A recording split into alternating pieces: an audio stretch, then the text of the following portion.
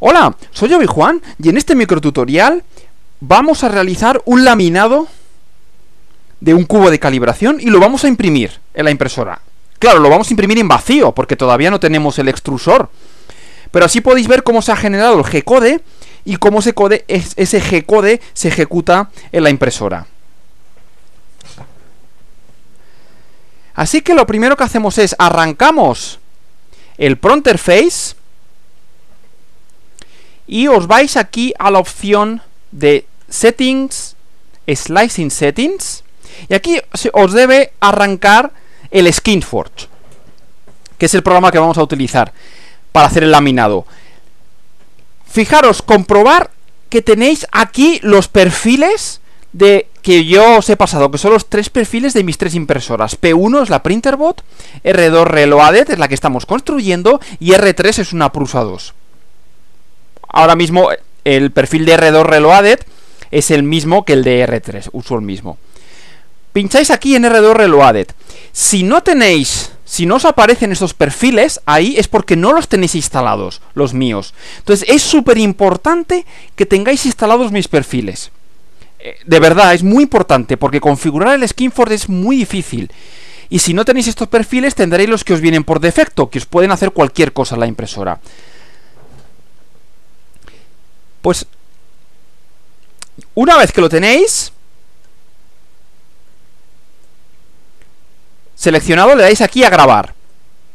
Y aquí el SkinForce tiene cantidad de opciones, pero ya están todas configuradas y no tenemos que hacer nada. Simplemente lo grabamos.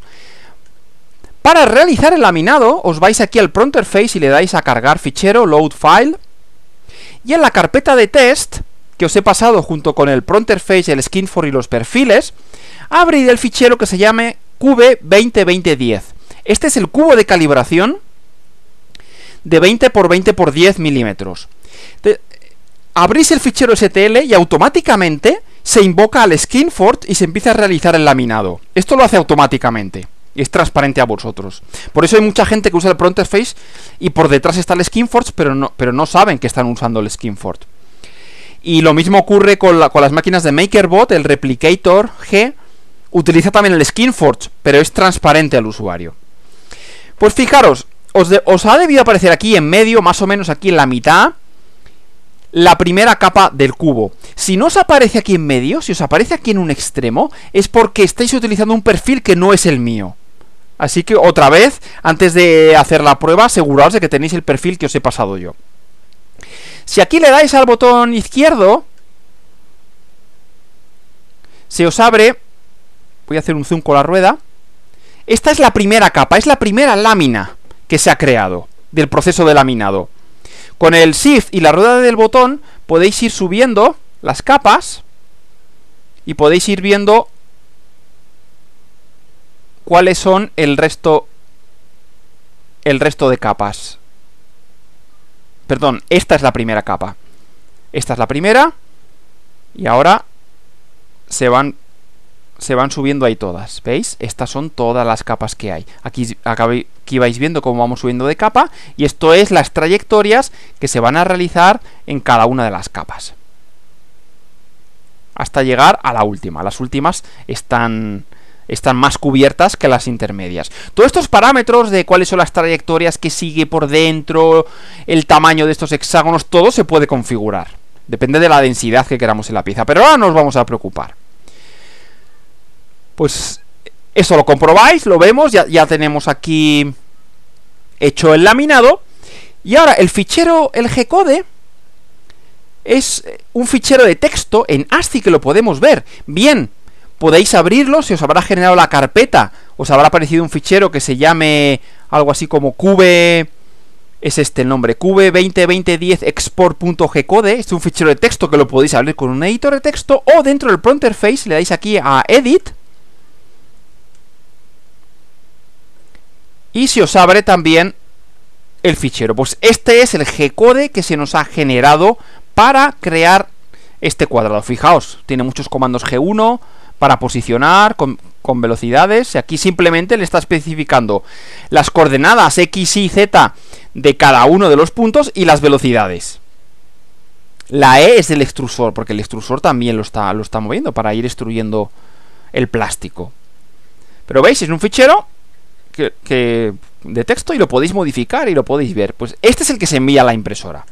Y ya por último, vamos a realizar la impresora, eh, la impresión. Fijaros que lo mismo que cuando ejecutamos la marcha imperial, que también la marcha imperial en realidad es un fichero G-code que estamos ejecutando, no hace falta tener el extrusor ni la temperatura ni nada. Simplemente le damos a imprimir. Como siempre, lo primero que va a hacer va a hacer un homing, va a localizar cuál es su origen de coordenadas, se va al al 000 y a partir de ahí va a empezar a seguir las trayectorias que le indican todas las láminas de mi cubo.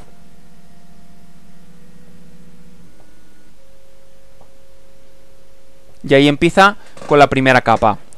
Fijaros que esta primera esta primera capa podéis ver el perímetro el perímetro del cuadrado, está haciendo un cuadrado.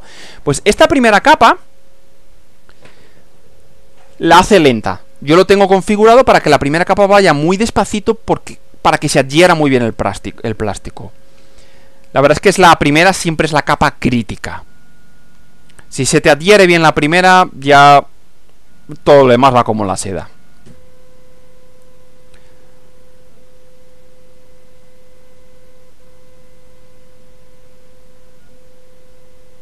Ahí estaría haciendo el rellenado. ¿Veis? Se está moviendo los dos a la vez. Entonces, eh, en realidad está siguiendo una, trayectoria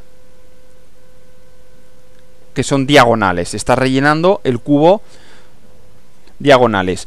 En el Pro Interface podéis ir viendo en rojo, vais viendo eh, las, las trayectorias que ya tiene.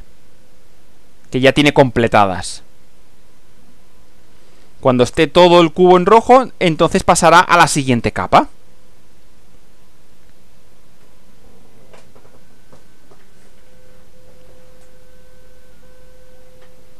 Ya le queda poco para terminar la primera capa.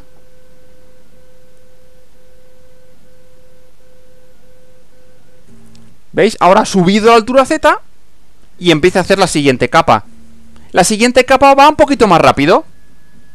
Porque ya, ya no es tan crítico la adherencia. El ABS se adhiere a sí mismo muy bien. Y empieza a hacer todas las capas. En total, este, el cubo completo tarda aproximadamente unos 10 minutos.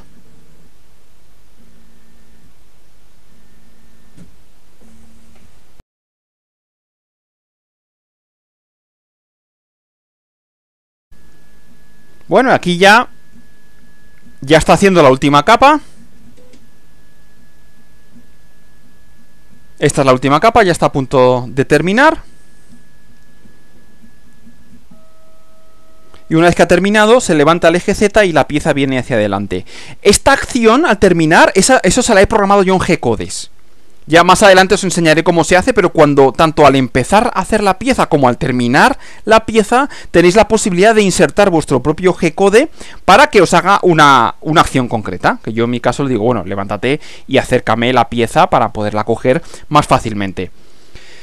Bueno, pues con esto hemos finalizado este primer bloque de la máquina CNC, que realmente todavía no tenemos la impresora 3D, lo que tenemos es una máquina CNC y conocemos ya todos sus principios de funcionamiento. Y ya en el próximo bloque nos falta añadir los elementos para convertirlo en impresora 3D, que son la base caliente y el extrusor. Y empezar a hacer pruebas de impresión. Yo por mi parte, esto es todo. Ahora me voy a tomar dos semanas de vacaciones dos semanas que voy a estar desconectado de internet, desgraciadamente, pero... Y entonces no voy a poder hacer tutoriales, pero dentro de dos semanas volveré con energías renovadas y continuaremos con la construcción de nuestra impresora. ¡Feliz verano a todos!